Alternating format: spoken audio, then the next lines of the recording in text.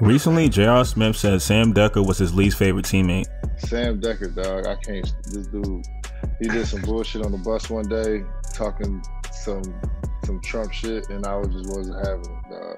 What he for what the question he asked, it was like a it's a it's a it's a thought pattern. You know what I'm saying? You you were taught that. After he said that, Sam Dekker's wife went on Twitter and said, "Extremely inaccurate and unfair. Consider the source."